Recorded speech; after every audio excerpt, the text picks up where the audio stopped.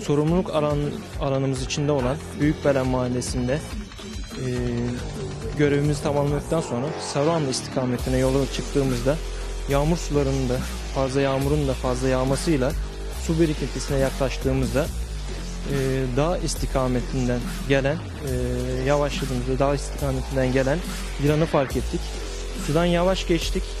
E, yavaş geçtikten sonra sağa çektik. Hemen inip e, şu mevzide e, arabanın içerisinden önce 2 metre yakınında fotoğraflarını çektik.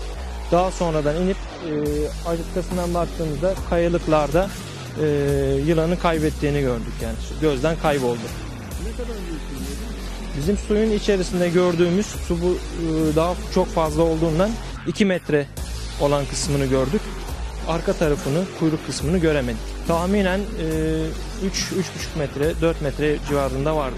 Bu mevsimde e, ilk defa böyle bir yılan görülüyor. Yani bu muhitin değil, e, çok değişik bir yılan olduğundan biz de hemen fotoğrafladık.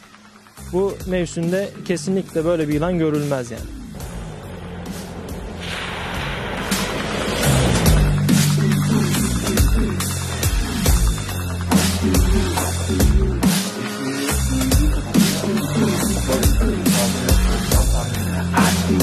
şablon olabildiğimiz borusu da var galiba. Özellikle bu tarz yılanlar Türkiye'de çok fazla rastladığımız yılanlar değil. Bizdeki yerli ırklar, yerli yılan ırkları genelde e, işte 50 santim ile 2 metre arasında değişir. Bunlar ise çoğunlukla engerek türleridir. Ama boğa yılanı bunlar daha çok pitonlara yakın e, yılanlar. Evet hani hiç görülmeyen e, türler değil ama çok da rastladığımız bir hayvan değil. Bu kadar büyüğünü e, sanıyorum birçok e, arkadaş da görmemiştir. Yani çok rastladığımız büyüklükte bir yılan değil.